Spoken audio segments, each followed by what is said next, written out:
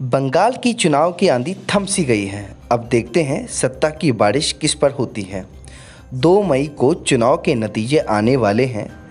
Exit poll के अनुसार बंगाल में एक बार फिर ममता बनर्जी की सरकार बनती दिख रही है। आइए अब हम बंगाल के चुनाव के घमासान पर एक नज़र डालते हैं। ममता बनर्जी की टीएमसी सरकार बंगाल में पिछले नौ साल से बंगाल पर राज करती रही है। एक बार फिर उनकी सरकार आती दिख तो रही है। अगर हम वोटिंग की बात करें तो पिछली बार की वोटिंग से इस बार की वोटिंग में कुछ ज़्यादा अंतर नहीं है। पिछली बार भी 80 फ़ीसदी वोटिंग हुई थी और इस बार भी लगभग इसी के आसपास वोटिंग हुई है।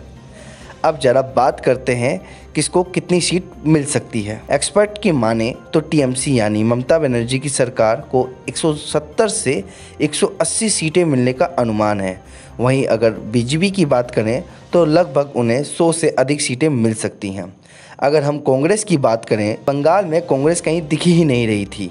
वहीं अगर लेफ़्ट की बात करें तो जो पार्टी हमेशा से दूसरे नंबर पर दिखती थी, वो अब अपनी सीटें बचाने में लगी हुई है। अब ज़रा हम जानते हैं कि जो बीजेपी पिछली बार दो से तीन सीटों पर ही सिमट गई थी, वो अब सौ सीटों से अधिक कैसे पहुँच पा रही है? ज़रा एक नज़र हम इस पर भी डालते हैं। एक्सपर्ट का कहना है कि आरएसएस 2014 से ही सक्रिय थी और लगातार पार्टी का प्रचार बंगाल में कर रही थी। उसी के कारण बीजेपी की 100 से अधिक सीटें आने की उम्मीद है। यह तो सिर्फ़ एक अनुमान है, असली नतीजे तो 2 मई को पता चलेंगे। और भी खबरों के लिए बने रहें ऑथम न्यूज़ के साथ।